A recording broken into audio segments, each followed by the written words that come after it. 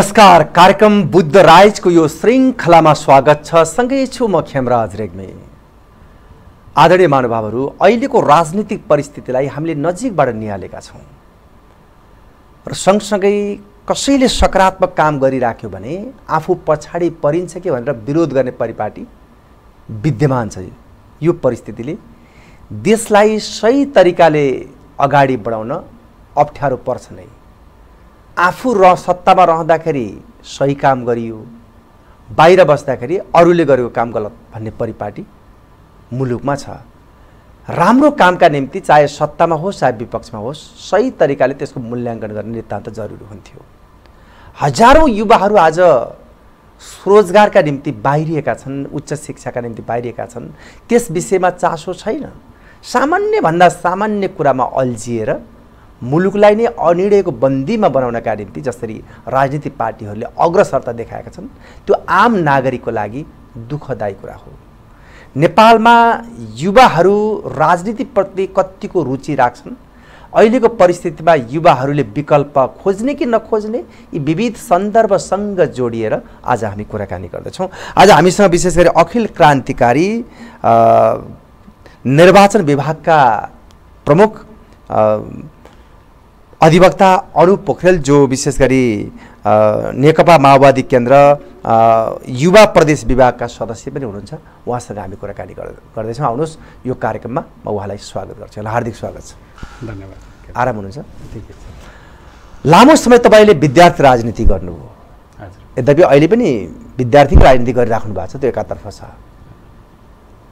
जुन बेला तपाईँ राजनीतिमा प्रवेश गर्नुभयो जुन उद्देश्य र लक्ष्यका साथ राजनीतिमा प्रवेश गर्नुभयो अहिलेको परिस्थिति देख्दाखेरि कतै मैले सही बाटो रोजिनँ कि भन्ने लाग्छ कि लाग्दैन? म यहीँबाट सुरुवात गर्छु आज कार्यक्रम धन्यवाद खेम अब तपाईँले भनेको प्रश्न अहिलेको राजनीतिमा टटकारो ढङ्गबाट आइरहेको छ। यससँगै दुईवटा कुराहरू सँगसँगै देखिन्छ। एउटा राजनीतिक सही बाटोमा छ कि छैन? अर्को युवाहरूले त्यो राजनीतिलाई सही दिशातिर लैजान सकिरहेका छन् कि छैनन् भन्ने दुईवटा प्रश्नहरू सँगै जोडिएर आएका छन्।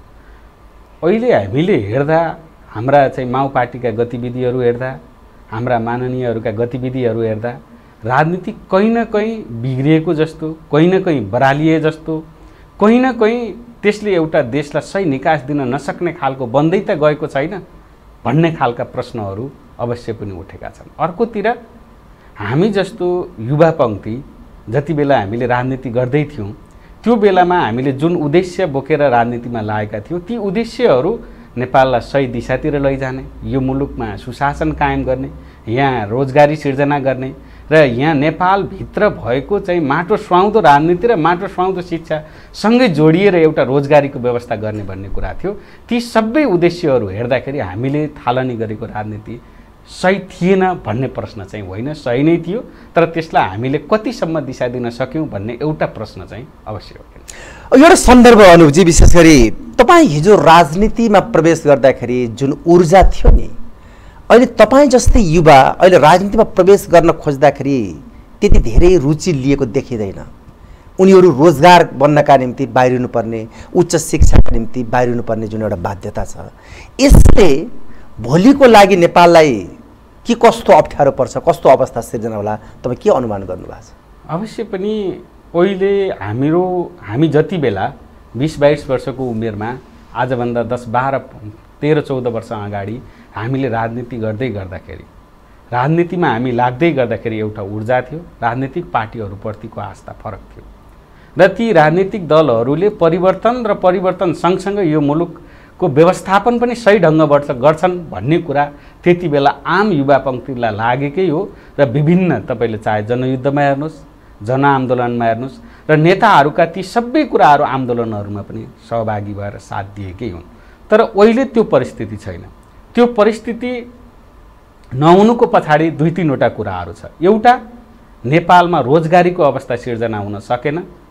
र रोजगारीको अवस्था र चाहिँ मान्छेले काम गर्ने वातावरणको अवस्था सिर्जना हुन सकेन। यसका लागि हामीले ठुलो मात्रामा यो मुलुकको मेकानिजम नै फेरबदल गर्नुपर्ने थियो।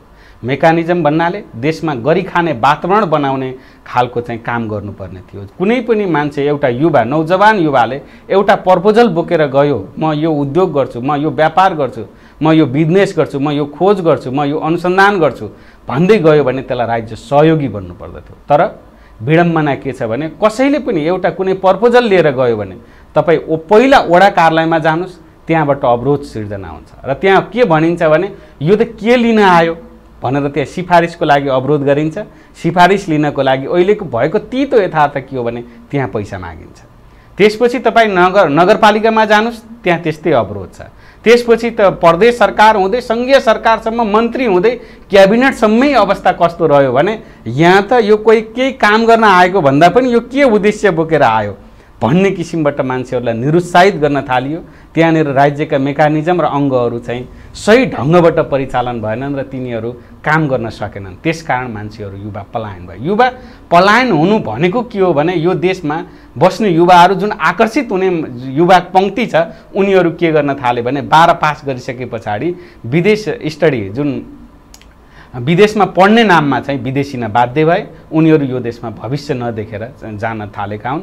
त्यो गर्दा नै राजनीतिप्रति युवाहरूको अलिकति कम आकर्षण भएको चाहिँ यथार्थै हो। त एउटा जुन सन्दर्भ जोड्नु भएको छ नि वार्डदेखि प्रदेशदेखि केन्द्रसम्म काममा अवरोध सृजना गर्ने काम गर्न नदिने अप्ठ्यारो पारिदिने भन्ने तपाईँले सन्दर्भ जोडिरहँदाखेरि तपाईँहरू हाम्रै बिचमा राजनीति गरेका व्यक्तिहरू जनप्रतिनिधि बनेका छन् नेतृत्वमा छन् होइन? अवश्य। तर जनताका निम्ति काम गर्दैनन् उनीहरू केवल पैसाका निम्ति क्रिया गर्छन् भने तपाईँ हामी जस्तो व्यक्तिले राजनीति किन गर्नु पर्यो? भोलि तपाईँ हामी पनि त्यही क्रियामा संलग्न भइहाल्ला बडो गम्भीर प्रश्न यहीँनिर छ। कुरा के हो भने हामीले जब राज्यको मेकानिजम नै चाहिँ खराब ढङ्गबाट परिचालन गऱ्यौँ भने एकाध मान्छे त्यहाँ गएर हुने पनि केही होइन त्यहाँ नगएर हुने पनि केही होइन। अहिले भएको परिस्थिति के हो भने यो देशलाई राज्यले चाहिँ कुनै केही काम गर्छु भनेर आएको मान्छेलाई नीतिगत हिसाबबाटै सहयोगी बनिरहेको छैन। राज्य पहिला सहयोगी बन्नु पर्यो। मान्छेले काम गर्दैछ र सही उद्देश्य बोकेर यो मुलुकलाई केही बनाउँछु भन्दै आएको छ भने त्यहाँनिर चाहिँ सहयोगी वातावरण जुन बनाइदिनु पर्ने हो त्यो बनाइएको छैन। विभिन्न बाहनाहरू गरिन्छ। तपाईँ एउटा उद्योग खोल्छु भन्नुहोस् त्यहाँनिर चाहिँ अवरोध छ। एउटा व्यवसाय गर्छु भन्नुहोस् त्यहाँनिर अवरोध छ। यी सबै अवरोधहरूको चाहिँ कारण के छ भने यहाँभित्रको जुन मेकानिजम छ नि त्यो मेकानिजम फेल छ। मेकानिजमलाई नै अब हामीले सुधार गर्नुपर्दछ। यो नीतिगत सुधार गर्न जरुरी छ। हामीले व्यक्तिलाई हेरेर राजनीति गर्ने कि नगर्ने अथवा फलानु जनप्रतिनिधिले बिगार्यो र फलानुले बढी गर्यो कि भन्ने अवस्थाबाट हामी हेरेर अहिले चाहिँ सही ठाउँमा पुग्न सक्दैनौँ। यहाँ जहाँनिर चाहिँ नीतिगत हिसाबबाट सुधार गर्नुपर्नेछ हामीले बैङ्कको ब्याज कति बनाउने? अहिले बैङ्कहरूले चाहिँ दस बाह्र पर्सेन्ट चाहिँ बैङ्कको ब्याज दिए भने मान्छेले लगानी गर्छ। अठार पर्सेन्टसम्म ब्याज लिएर चाहिँ कुनै उद्योगीले चाहिँ नाफा कमाएर यो देशलाई समृद्ध बनाउन सक्छ? हाम्रो पोलिसी कहाँ हो? हामीले त्यता हेर्नपर्छ कि पर्दैन? अनि यो देशमा युवाहरूलाई रोजगारी दिनको लागि चाहिँ पहिलो चाहिँ हरेक चाहिँ ठाउँहरूमा नीतिगत हिसाबबाट कसरी काम गर्न सकिन्छ भनेर रोजगारी सिर्जना गर्ने खालका चाहिँ उद्योगहरू स्थापना गर्नको लागि राज्यले चाहिँ त्यो खालको वातावरण बनायो कि बनाएन? हामीले त्यतातिर हेर्नुपर्दछ। ती सबै चाहिँ हामीले नीतिगत हिसाबबाटै हेरेनौँ भने एउटा वडा अध्यक्षले एउटा वडा सचिवले एउटा मेयरले गरेर केही पनि हुँदैन। त्यसकारण हामीले के भनिरहेका छौँ भने अहिलेको युवाहरूले चाहिँ युवाहरूको चाहिँ खास समस्या समाधान गर्ने हो भने यो राज्यको जुन मेकानिजम छ अब यसलाई हामीले कहीँ न कहीँबाट चाहिँ चेन्ज गर्नुपर्दछ। तर बोल्न चाहेँ कि तपाईँहरू वास्तवमा तपाईँहरूको माओ पार्टीले देशको नेतृत्व गर्छ कि खास गरी?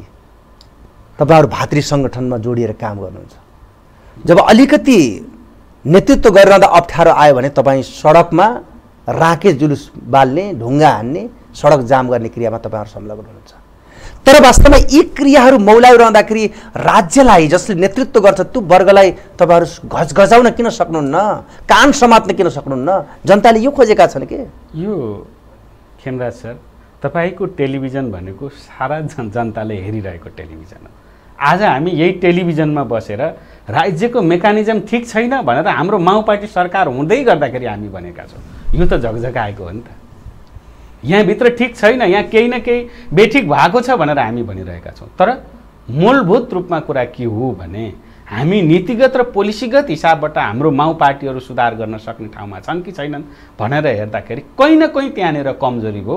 त्यस कारण राजनीतिमा विकल्पहरू खोजे। अहिले केही विकल्पहरूको मत आयो। त्यो विकल्पको मत कसरी आयो भने त्यहाँको विचार सिद्धान्त सबै चिज हेरेर होइन। यी पुराना राजनीतिक दलहरूले चाहिँ केही काम गरेनन् भनेर आक्रोशको भोट हालियो नि त। त्यो त यथार्थ हो देखियो होइन? जनतामा किन आक्रोश भयो भने हाम्रा माओ पार्टीहरूले गर्न नसकेकै कारण भएको यसलाई सुधार गर्नुपर्दछ भनेर हामी व्यापक चाहिँ बहसमा छौँ छलफलमा छौँ र चाहिँ युवाहरूको पनि युवाहरूको भन्दा पनि त्यहाँनिर चाहिँ हरेक पार्टीहरूमा क्षमतावान मान्छेहरूले नेतृत्वमा जानुपर्दछ र क्षमतावानहरू यो देशलाई जसले चाहिँ सही ट्र्याक दिन सक्छ सही बाटो डोराउन सक्छ तिनीहरू नै यो देशको नेतृत्व गर्न सक्नु सक्नुपर्छ भन्ने सबै पार्टीहरूमा अहिले हामीले बहस चलाइरहेको। बहस त तपाईँहरू चलाउनुहुन्छ नेतृत्व गर्नुपर्छ युवाहरू त्यहाँ पुग्नुपर्छ भनेर भन्नुहुन्छ। यतातर्फ नेकपा एमाले केपी ओली बाहेक अरू विकल्प नदेख्ने सत्तरी वर्ष हदबन्दी तोकिदिने त्यसलाई चाहिँ अगाडि बढ्न दिने जुन म्याथ थियो नि त्यति बेला। अर्कोतर्फ शेरबहादुरले चाहिँ तपाईँको पद नछोड्ने अर्कोतर्फ प्रचण्ड नछोड्ने। यो परिस्थितिमा तपाईँहरू नेतृत्वमा पुग्नुहुन्छ युवाहरूले नेतृत्व गर्छन् भनेर कसरी अनुमान गर्न सकिन्छ कसरी लिन सकिन्छ? विषय गम्भीर बनेन? विषय भयङ यो भयङ्कर गम्भीर विषय हो। अब हामीले हेर्दाखेरि अहिले तपाईँले मसँग प्रश्न गर्दै गर्दाखेरि म नेकपा माओवादी केन्द्रको कार्यकर्ता त्यो पार्टीमा आबद्ध कार्यकर्ता। मेरो उमेरमा कमरेड प्रचण्ड पार्टीको महामन्त्री भइसक्नु भएको थियो। पार्टीको सर्वोच्च नेता भइसक्नु भएको थियो। बिपीले प्रधानमन्त्री चलाइसक्नु भएको थियो। अब हामीले चाहिँ के हो भने त्यति बेला के पाका नेताहरू थिएनन् त? अवश्य पनि थिए। त्यति बेला उहाँहरूभन्दा जान्ने पनि त हुन सक्थे। तर कुरा के हो भने नेतृत्व गर्न सक्ने क्षमताको चाहिँ विकास गरेर अगाडि को आउँछ भन्ने प्रश्न हो। अहिले युवाहरूमा बस मात्रै होइन त्यो इच्छा शक्ति सहित नै अहिले अगाडि बढेको छ। त्यसका एउटा प्रक्रियाहरू हुन्छन् महाधिवेशन हुन्छ। महाधिवेशनमा यदि युवाहरूले उम्मेदवारी नै दिएनन् ती पदहरूमा जानै खोजेनन् भने त्यो बहस मात्रै हुनसक्छ यदि पार्टीका महाधिवेशनहरूमा अधिवेशनहरूमा ती विषयहरू उठाउँदै आफूलाई चाहिँ नेतृत्वमा चाहिँ दावेदारी प्रस्तुत गर्दै चाहिँ त्यहाँभित्रका पार्टीका क्याडरहरूको विश्वास जित्दै अगाडि बढ्ने कुरा जुन हुन्छ त्यो कुरा भयो भने फेरि युवाहरू पनि क्षमतावान पनि र पार्टीलाई सही नेतृत्व गर्न सक्ने मान्छेहरू पनि सही ढङ्गबाट आउँछन्। अहिले सबैतिर यो बहस चलेको छ छलफल चलेको छ र यसले छिट्टै नै निकास पाउँदछ। तर कुरा यो पनि होइन फेरि। उमेरले मान्छेको चाहिँ क्षमतालाई त अवरोध गर्ने भन्ने त होइन। होइन? भन्नुको अर्थ के हो भने उनीहरूले कुन नीति लिएका छन् भन्नेबाट हामीले बहस गर्नुपर्दछ। मान्छे कति वर्षको उमेरको छ भन्दा पनि यी चाहिँ हामीले चाहिँ टेस्टेड नेताहरूले लिएको नीतिले देशलाई अगाडि बढाउन सक्यो कि सकेन? विचार त सही थिए। सिद्धान्त त सही थिए। सारा जनता यसको पछाडि लागेकै हुन्। आन्दोलन गरौँ भन्दा आन्दोलन गएका हुन्। जनयुद्ध गरौँ भन्दा जनयुद्ध गरेका हुन्। राजतन्त्र फालौँ भन्दा राजतन्त्र फालेका हुन्। गणतन्त्र चाहियो भन्दा गणतन्त्र बनेका हुन्। नेतृत्वको पछाडि त लागेका हुन् नि त। नेतृत्व जब त्यो नेतृत्वले चाहिँ प्राप्त गरेको उपलब्धिलाई संस्थागत गर्न सके कि सकेनन् भन्ने प्रश्न जुन छ यो प्रश्नमा अहिले विचरणीय छ। उहाँहरू आन्दोलनको बेलाको सही नेतृत्व हो। यसमा कुनै दुई मत छैन। हजुरले नाम लिएका नेतागण। तर यस पछाडिको जुन व्यवस्थापनको कुरा छ यहाँनिर प्रश्न चाहिँ छ नेतागणहरू। यो जब गणतन्त्र आइसकेपछि जनताले के पाउनु पर्थ्यो? डेलिभरी सही पाउनु पर्थ्यो नि त। जनताले सुविधाहरू सही ढङ्गबाट पाउनु पर्थ्यो नि। हरेक नागरिकहरू आफ्नो अधिकार लिन जाँदाखेरि कुनै अवरोध हुनु हुन्थेन नि त। स्वतन्त्रता भनेको त्यो होला नि प्रजातन्त्र भनेको त्यो होला नि गणतन्त्र भनेको त्यो होला नि त्यो पाउन सकेनन्। त्यो पाउन नसक्नुको कारण के हो भन्दा उहाँहरूको नेतृत्व गर्ने जुन चाहिँ यसलाई नेतृत्व गर्ने आन्दोलनको नेतृत्व गर्ने क्षमता त रह्यो तर व्यवस्थापन गर्ने क्षमता रहेन। त्यो व्यवस्थापन गर्ने क्षमता नहुँदाको कारण नै अहिलेको समस्या आयो। यसलाई हल गर्नको लागि त्यो व्यवस्थापन गर्न सक्ने खालको युवा पङ्क्तिहरूले बस चलाउँदै ती ठाउँहरूसम्म गएर यो देशलाई सही निकास दिनुपर्छ। तपाईँको तर्क आफ्नो ठाउँमा ठिक छँदैछ म त्यो तर्फ धेरै जान चाहिनँ कि। तर राज्यले पैँसठी वर्ष उमेर काटिसकेपछि सत्तरी वर्ष उमेर काटिसकेपछि ज्येष्ठ नागरिक भत्ता दिन्छ कि? तपाईँहरू अब काम गर्न सक्नुहुन्न तपाईँहरू भत्ता खाएर बस्नुहोस् भनेर। तर यहाँ वास्तवमा जब सत्तरी काटिसकेपछि राजनीतिमा अझै अग्रगामी छलाङ मार्न सकिन्छ भनेर नेतृत्वको बागडोर सम्हाल्ने होडबाजी चल्छ। यस्तो प्रक्रियाले देश चल्छ? यो नियमित जागिरको सवाल र राजनैतिक नेतृत्वको सवाल अलिकति फरक ढङ्गबाट हामीले बुझ्नुपर्दछ। कतिपय कुराहरू राजनीतिमा अनुभवले काम गरेको हुन्छ। कतिपय कुराहरू लामो समयसम्मको एउटा चाहिँ खोजबाट काम गरिरहेको हुन्छ र त्यसले दिने लिडरसिपको कुरा हुन्छ। लिडरसिप भनेको आजको आजै उत्पादन हुने पनि होइन। आजको आजै त्यसले सही ढङ्गबाट गर्न सक्छ कि सक्दैन लामो टेस्टेड र लामो खारिएर आउने कुराहरू हुन्छ।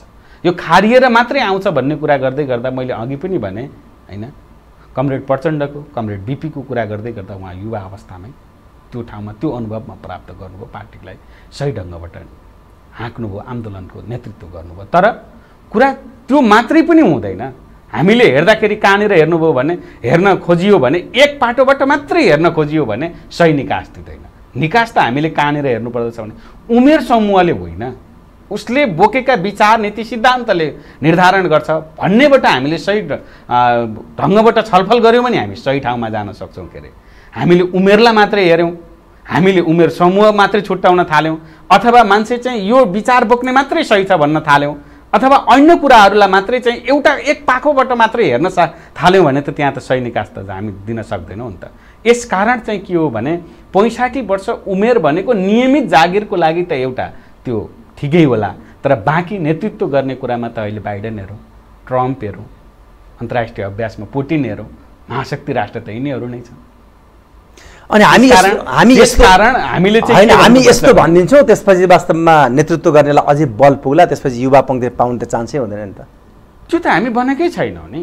नेतृत्वमा अब हामीले चाहिँ आफ्नो क्षमताको विकास गरेर जानु पर्यो र नेतृत्वलाई चुनौती पनि दिन सक्नु पर्यो नि त। जब युवा युवा युवा युवा युवाले पाउनुपर्छ कति पर्सेन्ट पाउनुपर्छ भन्ने कुरा होइन कि हाम्रो विचार यो हो हाम्रो चाहिँ सिद्धान्त यो हो। पार्टीभित्र अब हामीले यसरी व्यवस्थापन गर्छौँ हामीले पार्टीलाई यो ढङ्गबाट लिएर जान्छौँ भन्ने खालको एउटा चाहिँ सिङ्गो चाहिँ एउटा खाका बनाएर अगाडि गयो भने त नेतृत्वको विकास स्वत हुन्छ नि त। त्यो चालिसै वर्षमा हुन सक्यो त्यो पैँतिसै वर्षमा हुन सक्यो। उमेर समूह भन्दा पनि हामीले त्यहाँ नेतृत्व गर्न सक्ने र नेतृत्वलाई चाहिने सम्पूर्ण कुराको विकास गर्न सक्छौँ कि सक्दैनौँ भन्ने प्रश्न छ। हो त्यो प्रश्नमा अहिले के हो भने युवा पङ्क्तिले ती सबैको विकास गरेर अगाडि बढ्नु पर्दछ भन्ने प्रश्न चाहिँ जुन छ यसलाई हामीले आफैले आफैलाई निखारेर लैजानु पर्नेछ त्यो बाटोमा अहिले चाहिँ राजनीति जानुपर्दछ गएन भने दुःखदायी अब नेकपा माओवादी केन्द्र विशेष गरी जुन खालको एउटा आन्दोलनको नेतृत्व गर्यो जसरी बैसठी त्रिसठी पछि मुलुकमा एउटा सङ्घीय संरचना भनौँ अथवा संविधान जसरी जारी गरेर गणतन्त्र गण गणतन्त्रात्मक मुलुक बन्यो।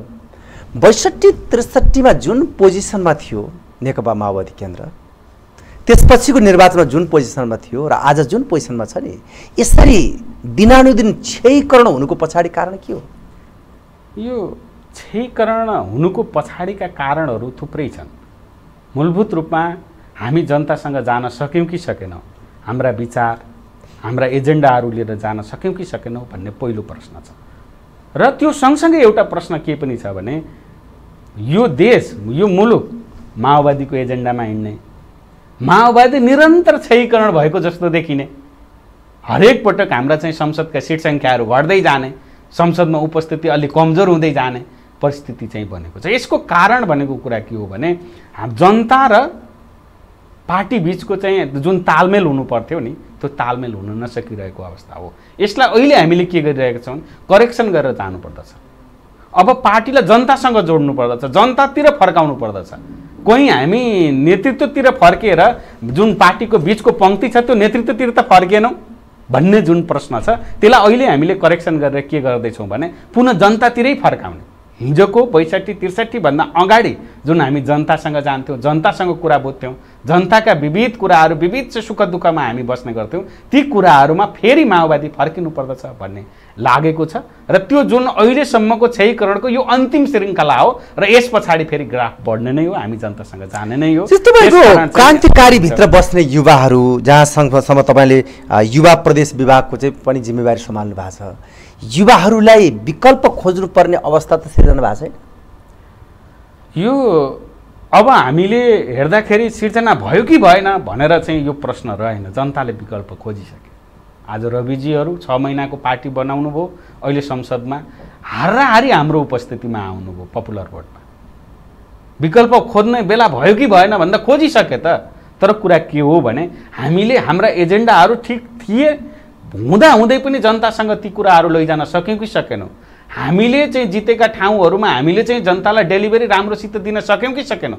भन्ने जुन प्रश्न छ त्यसलाई अब हामीले चाहिँ करेक्सन गरेर जहाँ जहाँनिर बिग्रिएको ती बिग्रिएका ठाउँहरूमा चाहिँ बनाउँदै गएर हामी नै अब्बल दर्जाको राजनीतिकर्मी हो भनेर हामीले आफूलाई साबित गर्नुपर्ने बेला छ। त्यो हामी गरिरहेका छौँ र यसको एउटा कार्यक्रम बनाएर जनसम्बन्ध सुदृढीकरण अभियान भर्खरै सकिएको छ। जनतासँग चाहिँ प्रत्येक घर घरमा जाने कुराहरू भएको छ। जनताका कुराहरू के थिए त? के आधारमा हामीलाई हिजोको ठुलो मत चाहिँ माया प्राप्त भएको थियो? अहिले क्षयीकरणको हुन कारणहरू के के हुन्?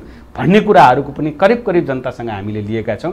जनसम्बन्ध र हाम्रा एजेन्डाहरू चाहिँ हामीले सही ढङ्गबाट जनतासँग पुर्याउन नसक्दाकै परिणाम हो भन्ने एउटा निष्कर्षमा निस्के निकालेका छौँ। त्यसकारण हामीले यी कुराहरूलाई जस्तै अनुपजी हामी सत्तरी वर्षको उपलब्धि। सङ्घीय संरचना गणतन्त्र लोकतन्त्र भन्ने हामी गर्व गरिरहेका छौँ नि। तर आज जुन वितृष्ण आम नागरिकमा देखिएको छ कतै यो व्यवस्था नै अन्त्य हुने हो कि भन्ने खालको सङ्केत पनि देखिरहेछ। र यसले गर्दाखेरि कतै यो सङ्घीयता घाँडो त हुने होइन म सिधै यो शब्द बोलेँ। ठिक छ। खेमजी एउटा कुरा के हो भने यो लामो समयपछिको सङ्घर्षको उपलब्धि नै हो यो सङ्घीय गणतन्त्र। सङ्घीय गणतन्त्रको विकल्प भनेको उन्नत किसिमको सङ्घीय गणतन्त्र नै हो। ब्याग कहिले पनि हटेको छैन। लोकतन्त्रको चाहिँ भनेको चाहिँ विकल्प भनेको उन्नत किसिमको लोकतन्त्र हो। त्यहाँ प्रतिगा प्रतिगमन भन्ने सम्भव छैन। हामीलाई स्वतन्त्रताको चाहिँ विकल्प भनेको अझै उन्नत खालको स्वतन्त्रता हो। त्यसको विकल्प छैन। तर अहिले यसको व्यवस्थापनका केही कमजोरीहरू हुँदाको कारण यी प्रश्नहरू उठेका छन्। कतै घाँडो त भएन भन्ने कुरा। हामीले मेकानिजम सही ढङ्गबाट जुन उद्देश्य प्राप्तिको लागि सङ्घीयता सङ्घीयता भन्यौँ त्यो ठाउँमा पुर्याउन सक्यौँ कि सकेनौँ? सङ्घीय सरकारले प्रदेशहरूलाई अधिकार दिने कतिवटा कानुन निर्माण गर्यो।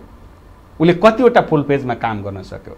हाम्रो चाहिँ सङ्घ प्रदेशमा भएका संसदहरूले कति दिन आफूलाई चाहिने कानुनहरू निर्माणमा व्यस्त बनाए। र त्यो प्रदेश सरकारहरूले आफूलाई चाहिने कानुनहरूको विषयमा कतिको घोत्लिएर छलफल गरेर त्यो प्रदेशहरूमा आवश्यकता आवश्यकताका चाहिँ जुन करण चरणहरू छन् तिनीहरूलाई कसरी चाहिँ निर्कोल गर्न चाहिँ उनीहरू घनीभूत हिसाबबाट छलफलमा लागे? भन्ने प्रश्न हेर्दाखेरि अहिले के भइरहेको छ भने केन्द्रको मुख ताक्ने केन्द्रीय अध्यक्षहरूले के भन्छन् त्यही आधारमा सरकार बनाउने र गिराउने गर्ने। त्यस पछाडि चाहिँ के हो भने सत्ता समीकरण टिकाउनको लागि जम्बो मन्त्रीमण्डल बनाउने। अनि सङ्घीयताका कुनै पनि नम्सहरू नमानिकनै अन्य कामहरू गतिविधिहरू अगाडि बढाउँदै जाने र प्रदेश र चाहिँ स्थानीय तहको जुन एउटा सम्बन्ध हो त्यसलाई चाहिँ किटान र चाहिँ जुन किसिमको चाहिँ एउटा प्रष्ट पार्नुपर्ने हो त्यो नपार्नेको कारण आज चाहिँ यो प्रश्न उठेको छ। तर यो प्रश्न उठ्दै गर्दाखेरि कुरा के हो भने के यसको विकल्पमा हामी पुनः केन्द्रीकृतमा जाँदाखेरि एकाएक विकास गर्न सक्छौँ त भन्ने अर्को प्रश्न पनि सँगसँगै उठ्छ नि त। त्यो सम्भव भएको भए हिजो त्यो सम्भव भएको भए गाउँ गाउँमा बाटा पुगेको भए गाउँ गाउँमा स्वास्थ्य चौकी पुगेको भए गाउँ गाउँमा हस्पिटलहरू पुगेको भए गाउँमा गाउँ गाउँमा चाहिँ हाम्रो चाहिँ आमाहरू सुत्केरी हुन नसकेर चाहिँ मृत्युको मुखमा पुग्न पुग्ने अवस्थाको सिर्जना चाहिँबाट चाहिँ अन्त्य भएको भए यो अवस्था त ल्याउनु पर्ने थिएन यो व्यवस्था ल्याउनु पर्ने थिएन नि। त्यस कारण पनि कुरा के हो भने खाँडो भन्दा पनि यसलाई चाहिँ हामीले के बुझ्नुपर्छ भने व्यवस्थापकीय केही कमजोरी भएका होलान् तर व्यवस्थापकीय कमजोरीलाई सुधार्दै अगाडि बढाउनु पर्दछ। अनि व्यवस्थापकीय कमजोरी भनेर हामी उम्कने अनि वास्तवमा प्रदेश केवल पैसा वितरण गर्ने केन्द्र मात्र बन्ने हो भने प्रदेशलाई चाहिँ तपाईँको खारेज गरेर सङ्घीयतामा पनि तपाईँको स्थानीय तह र केन्द्रीय सरकारलाई बलियो बनाए हुँदैन भन्ने प्रश्न जनताले उठाएका छन् कि? हो। एक पक्ष प्रश्न उठेकै कारण अहिले यो बसमा आएको छ तर कुरा के हो भने वितरण गर्ने जुन भन्ने कुरा छ यसलाई चाहिँ एउटा काम के गर्नुपर्दछ भने एउटा काम गर्दा बित्तिकै यो प्रश्न चाहिँ हल हुन्छ। वितरण होइन विकास गर्ने भन्ने जुन हामीले चाहिँ प्रश्न चाहिँ जुन छ नि त्यो प्रश्नलाई चाहिँ हामीले विकासमा बदल्यौँ भने यो केही काम पनि गर्नु पर्दैन सङ्घीयता बोलियो बनेर जान्छ प्रदेशहरू बोलियो बनेर जान्छन् प्रदेश सरकारप्रति चाहिँ जनताको विश्वास बढेर जान्छ र त्यो प्रदेश सरकारले हाम्रा मागहरू डे डे बाई डे सुन्न सक्छन् र यी प्रतिनिधिहरू पनि हाम्रा हुन् र यी समस्याहरू हाम्रो सुन्नको लागि र हाम्रा काम गर्नको लागि बसेका प्रतिनिधिहरू हुन् भन्ने हामीले बनाउन सक्छौँ। यो किसिमले चाहिँ हामीले जानु पर्दैन अवस्था हुन्छ। यो जुन के अहिले छ नि वितरण भन्दा पनि वितरण जुन शब्द छ यसलाई हामीले विकास भन्नेतिर लग्यौँ भने त समस्याको हल भइहाल्यो नि त। प्रदेशले विकास गर्छ भन्ने भयो भने त सिद्धियो नि त। अनुपजी तपाईँ एउटा कानुनको विद्यार्थी पनि हो खास गरी यद्यपि राजनीति त आफ्नो ठाउँमा छँदैछ तपाईँ बहस पैरवी पनि गर्नुहुन्छ। हेर्नुहोस् त वर्षौँसम्म राजनीति गरेर जनताको बिचमा मत मागेर चुनावी मैदानबाट वास्तवमा प्रतिनिधि बनेर नेतृत्व गर्न पुग्नेहरू आज भ्रष्टाचारको कारणले खोरमा पुग्दैछन्। नेतृत्व पैसा कमाउनका निम्ति राजनीति गर्छन् कि जनताको सेवाको लागि। तपाईँ के भन्नुहुन्छ? यो अहिले हेर्दाखेरि लेटेस्टका घटनाहरू हेर्दाखेरि तपाईँको दोस्रो प्रश्न दोस्रो कुरातिर छ। पैसा कमाउनकै लागि राजनीति गरे कि? भन्ने देखिएको छ। यो देशका पूर्व उप प्रधानमन्त्रीहरू यो देशमा चाहिँ के हो भने नक्कली शरणार्थी मान्छे बनाएर अमेरिका पठाउँछु भन्ने अभियोगमा परेडले छोपेर अनुसन्धान गर्नुपर्ने। सही हुन्छ हुँदैन त्यो अदालतबाट निर्कोल होला। उहाँहरू अपराधी भइसकेको भन्ने कुरालाई म कानुनको विद्यार्थी भएको हिसाबले भन्न मिल्दैन। यो देशको गृहमन्त्री अनुसन्धानको दायरामा आउनु। परेडले चाहिँ छोपेर चाहिँ राख्नुपर्ने। यो देशको गृह सचिवले चाहिँ एउटा चाहिँ प्रतिवेदन नै नक्कली बनाएर अनुसूची थपिदिनु जस्ता जुन कुराहरू छन् यसले राजनीतिलाई राम्रो पुऱ्याएको छ हाम्रो देशको इज्जतलाई राम्रो ठाउँमा पुऱ्याएको छैन। यसलाई हामीले निर्मम ढङ्गबाट चाहिँ अन्त्य गर्नै पर्दछ। यो तेरो मेरो कसको कता के भनेर खोजियो भने यो देश अझै बिग्रिने हो अझै नेपालको बेइज्जत हुने हो हामीले जुन चाहिँ एउटा भ्रष्टाचारसँग सम्बन्धित कानुनहरू छन् अलिक फितला खालका भए कि अलिक कडा खालको बनाउनु पर्दछ कि? भन्ने हिसाबबाट हेर्न जरुरी छ। हिजो केही पनि नभएको मान्छे लगानी पनि गरेको छैन त्यसको व्यवसाय पनि छैन कुनै पेसासँग पनि जोडिएको छैन आज मान्छे गाडी चढेर हिँडेको छ। तर हामीले बनाएको सम्पत्ति शुद्धिकरण भन्ने विभाग चाहिँ कहाँ छ? त्यसले मान्छेको सम्पत्ति किन बढ्यो किन घट्यो भनेर हेर्नु पर्यो नि त। त्यो हेर्न सकेको छैन। अख्तियारले परेका उजुरीहरू चाहिँ यसो टालटुल ढङ्गबाट मात्रै चाहिँ हेरेको छ एउटा पत्र पठाएको छ। त्यसको विषयमा के खुलाइदिनु भने राम्रोसँग अभियोजन लगाउनै सकेको छैन। लगाएका अभियोजनहरूको पनि चाहिँ के हो भने अदालतमा स्वतन्त्र ढङ्गबाट पुष्टि हुने खालका भएका छैनन् र सबै मान्छेहरू जुन अभियोग लागेका मान्छेहरू छन् उनीहरू अदालतबाट चाहिँ सफाइ पाउने स्थिति आएको छ। कानुनमा छिद्रता राखिएको छ। अदालतले त हेर्ने प्रमाण न हो।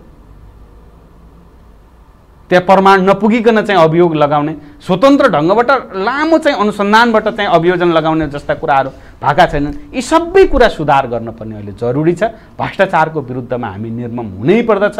मान्छेले कसले कति कर तिरेको छ कहाँ तिरेको छ के खाएको छ के बसेको छ उच्च पदस्थहरूले त के के खान्छन् के के लाउँछन् भन्ने कुराको पनि मासिक हिसाबबाट हामीले रेकर्ड राख्न जरुरी छ। राज्यको उच्च ओहदामा जाने भनेको मेरो स्वतन्त्र लाइफ छ भन्न पाइँदैन। म यो राज्यका सबै मान्छेहरूको काम गर्न त्यहाँ जाने हो भन्ने जुन किसिमको चाहिँ सोच र विकास हामीले जब निर्माण गरेर जान्छौँ भ्रष्टाचार अन्त्य हुन्- हुन्छ। तर यहाँ के भएको छ भने मन्त्री हुने भनेको त कमाउनको लागि हो। सांसद हुने भनेको त कमाउनको लागि मेयर हुने कमाउनको लागि हो। वडाध्यक्ष हुने भनेको कमाउनको लागि हो। अनि कमाउने उद्देश्य सहित बनेका नीति निर्माताहरूले चाहिँ उसको ब्युरोक्रेसी कसरी चलाउँछ? भन्दा कहाँ कहाँबाट कमाइ हुन्छ त्यही काम मात्रै गर भनेर भनेको हुन्छ। बिचरा जागिर खान गएको मान्छेले अरू के गर्न सक्छ? हामीले मेकानिजम त सही बनाएनौँ नि त। हाम्रो सोचमा परिवर्तन गरेनौँ त। त्यसकारण राजनीतिक दलहरूकै फेरि यसमा सबैभन्दा ठुलो चाहिँ जिम्मेवारी छ। तपाईँलाई भन्दाखेरि। के भने राजनीतिमा हामीले के चाहिँ शिक्षा दियौँ के चाहिँ हामीले चाहिँ प्रशिक्षण गऱ्यौँ? हामी त डेली प्रशिक्षण पनि त गरिरहेका हुन्छ नि त राजनीतिमा। हामीले के प्रशिक्षण दिँदाखेरि भ्रष्टाचार गर्नुपर्छ भनेर भन्यौँ? मेरो मान्छे छ त्यहाँ राख्दै भनेर भन्ने। विश्वविद्यालयको भिसी नियुक्ति गर्ने बेलामा सबैभन्दा कमजोर मान्छे र पार्टीको झोला बोकेर पढाउन छोडेर पार्टी कार्यालयमा चाहिँ झोला बोकेर जाने चाहिँ एउटा चाहिँ कार्यकर्ता भर्ती गऱ्यौँ त्यस कारण हाम्रा विश्वविद्यालयहरू कस्ता भए। होइन? अख्तियारमा हामीले चाहिँ के हो भने अख्तियारमै मुद्दा परेको। तपाईँलाई चाहिँ यही भइरहेको ज आयल निगमको जग्गा किन्ने बेलामा चाहिँ मुद्दा परेको चाहिँ मान्छेहरूलाई लगेर नियुक्ति गऱ्यौँ यस्ता थुप्रै प्रश्नहरू छन्। यी प्रश्नहरूको चाहिँ हामीले के हो भने अहिले चाहिँ कहीँ न कहीँबाट हामीले नीतिगत हिसाबबाटै संरचनामा फेरबदल गरेनौँ भने त हामीले जतिसुकै मान्छे। मौलाइरहँदाखेरि नेतृत्व पङ्क्ति भ्रष्टाचारमा चुर्लुम्म डुब्दाखेरि भोलि तपाईँहरू राजनीति गर्ने व्यक्ति जनताको बिचमा जाँदाखेरि तपाईँहरूलाई जनताले हेर्ने दृष्टिकोण कस्तो बन्ला? यो प्रश्न उठिरहेछ अहिले। उठ्छ। अवश्य उठेको छ। तपाईँहरू राजनीतिमा तपाईँका माउदलहरू सबै लाइन लागेर राख्ने हो भने अहिले तपाईँ त्यहाँ के हो भने जेलमा ठाउँ नपुग्ने ठाउँ हुन थाल्यो भन्ने बसहरू हुन थालेकै छन्। यो यथार्थ हो। तर कुरा के हो भने राजनीतिलाई बिगार्ने पनि राजनीति कर्मीले हो। र यसलाई सपार्ने पनि राजनीति कर्मीले नै हो। बाहिरबाट कोही आएर सपार्ने त होइन। त्यसकारण सही ढङ्गको राजनीति गर्ने निष्ठाको राजनीति गर्ने यो मुलुकलाई अगाडि बढाउने राजनीति गर्ने मान्छेहरू चाहिँ फेरि कोही न कोही उनीहरू स्थापित हुन्छन् जनताले चिन्छन् केही समय लाग्छ र तिनीहरू व्यक्ति खराब हुँदैमा सिङ्गो संस्था खराब हुन सक्दैन भन्ने हिसाबबाट चाहिँ मान्छेहरू चाहिँ फेरि बुझ्दै जान्छन् अनि पुनः चाहिँ के हो भने सही मान्छेलाई छानेर यो देशको चाहिँ नेतृत्वमा चाहिँ जनताले पुऱ्याउँछन्। त्यो हिजोदेखि आजसम्म गर्दै आएका अब अलिकति प्रसङ्ग तपाईँ जोडिएको अखिल क्रान्तिकारी जहाँ केन्द्रीय निर्वाचन विभागको तपाईँ प्रमुख पनि हुनुहुन्छ खास गरी। हजुर। क्रान्तिकारीको अहिलेको अवस्था के छ? शब्द त बडो गजबको छ। क्रान्तिकारी। त खासमा अहिलेको अवस्था हामी पनि हिजोदेखि जुन उठाइरहेका थियौँ कहीँ न कहीँ शिक्षामा सुधार गर्नुपर्दछ। हामीले युग सुहाउँदो माटो सुहाउँदो वैज्ञानिक शिक्षा लागू गर्नुपर्दछ भनेर भनेका थियौँ। त्यो कुरामा अखिल क्रान्तिकारी अहिले पनि अडिक छ। युग सुहाउँदो हुनुपर्दछ। युग सुहाउँदो भनेको के हो भने अहिलेको युग सुहाउँदो शिक्षा आजको दस वर्षपछि युग सुहाउँदो नहुन सक्छ। वैज्ञानिक नबन्न सक्छ। आज प्रविधिको युग छ। हिजोसम्म सबैभन्दा मान्छे धेरै शक्तिशाली कहाँ थियो? हिजोको विश्वभन्दा जसले सबैभन्दा बढी सेना राखेको छ त्यो चाहिँ शक्तिशाली थियो। अहिले त फेरबदल भएछ। हेर्दाखेरि सबैभन्दा बढी सूचना प्रविधि जोसँग छ त्यही नै शक्तिशाली भएछ। संसारका सबै चिजहरू उसले एक ठाउँबाट हेर्न सक्ने हो। अहिलेको युग सुहाउँदो के हो? भन्दा यो आइटी टेक्नोलोजी। यो चाहिँ अहिलेको युग सुहाउँदो भन्नुको अर्थ के हो भने हामीले माटो सुहाउँदो युग सुहाउँदो र देश सुहाउँदो शिक्षाको जुन नारा उठाएका थियौँ त्यो निरन्तर छ र त्यो शैक्षिक सुधारमा हामी लागिरहेका छौँ हामीले भनेका छौँ। अब यहाँ चाहिँ के हो भने पार्टी कार्यकर्तालाई भन्दा पनि विश्वविद्यालयहरूमा विज्ञता नियुक्ति होस् जोसुकैको होस्।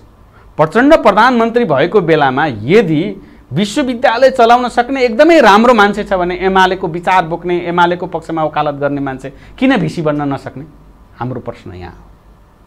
त्यो विश्वविद्यालयको हितमा काम गर्न सक्ने खालको हुनु पर्यो। पार्टीको हितमा होइन व्यक्तिको हितमा होइन। यो देशको चाहिँ शिक्षा प्रणालीलाई आमूल परा पर- परिवर्तन गर्न सक्ने खालको हुनु पर्थ्यो त्यसकारण कुरा के हो भने यो दिशातिर जान चाहिँ सक्नुपर्दछ भन्ने अहिलेको हाम्रो बहस हो। तर बडो गजबको कुरा गर्नुभयो के वास्तवमा अनुपजी? विद्यालयभित्र क्याम्पस हाताभित्र राजनीति गर्ने भातृ सङ्गठनहरू चाहे त्यो नेभी सङ्घ होस् चाहे अखिल होस् चाहे क्रान्तिकारी होस् अनावश्यक रूपमा चापी लगाउने गुणस्तरीय शिक्षा छ छैन त्यो नहेर्ने र सँगसँगै तपाईँको चाहिँ अप्ठ्यारो परिस्थिति सिर्जना गर्ने र केही भइहाल्यो भने सडकमा आएर ढुङ्गा हान्ने भन्ने खालको विषय तपाईँहरूमाथि जोडिन्छ कि खास गरी? शिक्षा पवित्र स्थलमा राजनीति गर्नुपर्ने बाध्यता हो गर्नुपर्ने थियो। यो बडो गम्भीर प्रश्न अहिले उठिरहेको र हामीले चाहिँ यस्तो गरेको भए सच्याउनु पर्ने तर यहाँ के भइदिइरहेको छ भने भन्न त विद्यार्थीलाई भन्छन्। त्यहाँ जाने हो भने एउटा काङ्ग्रेस शिक्षक हुन्छ एउटा एमाले शिक्षक हुन्छ एउटा माओवादी शिक्षक हुन्छ। कर्मचारी हेऱ्यो भने एउटा काङ्ग्रेस हुन्छ एउटा माओवादी हुन्छ एउटा मधेसी हुन्छ एउटा अर्को के हुन्छ होइन? त्यो दलसँग आबद्ध चाहिँ कर्मचारीहरू छ त्यहाँ त अहिले विद्यार्थी सङ्गठनहरू त निरीह भइसक्यो राजनीतिमा। त्यो चाहिँ गर्नलाई। अनि उनीहरूका केही स्वार्थ समूहहरूलाई त्यहाँ क्याम्पसभित्र परिचालन गर्ने अनावश्यक कुरा उठाउने प्राङ्गिक वातावरण खलबलाउने किसिमको जुन वातावरण बनेको छ यसलाई हामीले सुधार गर्न भन्दा पहिला विद्यार्थी सङ्गठनहरूभित्र भएका कमजोरी कमजोरीहरूलाई अवश्य पनि स्वीकार्नु पर्दछ र हामीमाथि लागेका आरोपहरूलाई हामीले चाहिँ के हो भने सहर्ष ग्रहण गरेर अबको शैक्षिक आन्दोलनको स्थिति यो हो भनेर हामी अगाडि जानुपर्दछ। हामीले अहिले लामो समय भयो ताला लगाएका छैनौँ। हामीले लामो समय भयो चाहिँ सडकमा उठेर चाहिँ ढुङ्गामुढा गरेका छैनौँ। हामीले लामो समय भयो क्याम्पस चिफहरूलाई चाहिँ राजीनामा दे भनेर भनेका छैन। त्यसमा समयअनुसार परिवर्तन छ समय समयअनुसार परिवर्तन हुनुपर्छ। तर यहाँ भइदिएको के छ भने यहाँनिर पहिले भिसी नियुक्ति गर्ने बेलामा कार्यकर्ता भर्ती गर्ने अनि क्याम्पस चिफहरू तिनीहरूका चाहिँ अलिक सेकेन्ड स्तरका कार्यकर्ताहरू नियुक्ति गर्दै गर्दै गर्दै जाँदा शैक्षिक वातावरण खलबलियो। कमसेकम पनि जो पढ्न आएका विद्यार्थीहरू छन् तिनीहरूले नियमित रूपमा पढ्न पाउनु पर्दछ हामीले यो आवाज चाहिँ उठाएका छौँ। कोर्स हुनुपर्दछ भन्ने कुराहरू उठाएका छौँ। लाइब्रेरीहरू सही ढङ्गबाट हुनुपर्दछ भन्ने उठाएका छौँ। हरेक सरकारी क्याम्पसहरूमा चाहिँ आइटी लाइब्रेरी हुनुपर्दछ भनेर हामीले कुरा उठाएका छौँ। यी अहिले चाहिँ गएर हेर्ने हो भने कतिपय त हाम्रा मागहरूका कारण केही सरकारी क्याम्पसहरू पढ्न लायक पनि भएका छन्। तपाईँ हामी कलेज जाँदा कस्तो स्थिति थियो? हामी पिसिएल पढ्दै जा गर्दाखेरि। अहिलेको परिस्थितिमा हामीले राजनीति गरेरै सुधारेको हो नि त। विद्यार्थीहरू कम बाहिर बस्ने होइन?